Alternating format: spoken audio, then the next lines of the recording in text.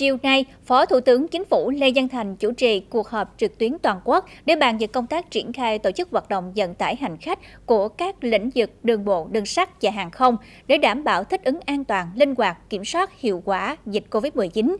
Chủ trì tại điểm cầu Long An do Phó Bí thư tỉnh ủy, Chủ tịch Ủy ban Nhân dân tỉnh Nguyễn Văn Úc. Qua 10 ngày mở lại các chuyến bay, đường bộ, đường sắt, nhìn chung các đơn vị địa phương cơ bản đã có sự phối hợp chặt chẽ để tổ chức thực hiện vận tải hành khách đáp ứng nhu cầu đi lại của người dân. Đối với vận tải đường bộ, đến ngày 18 tháng 10, có 48 địa phương đồng ý cho khôi phục hoạt động tuyến vận tải liên tỉnh. Về vận tải hàng không, 4 hãng trong nước đã khai thác 17 trên 21 đường bay đi đến 17 trên 22 cảng hàng không trong nước với trên 190 chuyến bay. Về vận tải đường sắt đã tổ chức được 26 chuyến tàu với gần 11.000 hành khách. Nhiều ngành địa phương cũng bày tỏ quan ngại về sự thiếu thống nhất giữa các địa phương về điều kiện đi lại của hành khách, cũng như quy định quá chặt chẽ việc xét nghiệm, cách ly đối với hành khách về địa phương.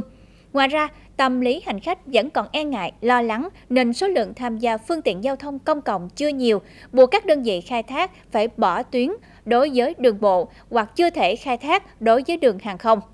Trên tinh thần an toàn, kiểm soát chặt chẽ dịch bệnh, Phó Thủ tướng Chính phủ Lê Văn Thành chỉ đạo ngành giao thông vận tải phải từng bước khôi phục lại hoạt động để sớm tạo điều kiện phục hồi sản xuất kinh doanh. Yêu cầu đặt ra là cần triển khai khôi phục vận tải một cách thận trọng, an toàn, không nóng dội, kiểm soát chặt chẽ an toàn dịch bệnh tại nơi đi đến, Đặc biệt các địa phương trên toàn quốc chủ động hướng dẫn các cấp, các ngành, đơn vị trên địa bàn thực hiện kiểm soát chặt chẽ người dân, hành khách từ dùng dịch về địa phương mình, tuyệt đối không để bùng phát thành các ổ dịch phức tạp.